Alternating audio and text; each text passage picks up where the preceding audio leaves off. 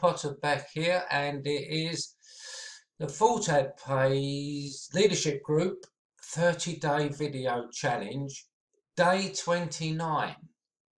And the subject today is comparing your intro video to now. Well, let me tell you, when I did my intro video, I was bricking it because, and it's strange, isn't it, really? Why should a grown man be nervous and frightened of making a video? Is it ego? I mean, what is it that stops you just getting on here and talking away? But that's how I felt. Terrible. I really struggled. I sort of mumbled, just mumbled through a few lines just to introduce myself to get it out of the way. So it was a real basic, pathetic intro.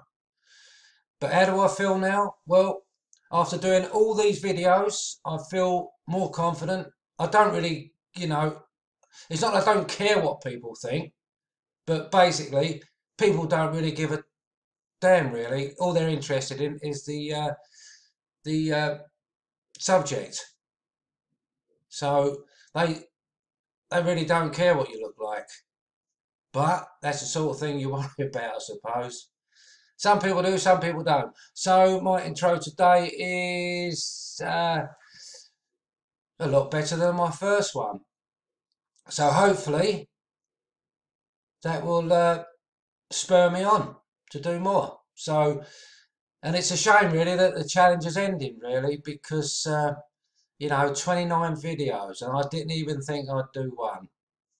And I wouldn't have done one if it hadn't been for this challenge. So there you go. Uh, I shall uh, see you on the last video later on. Bye for now.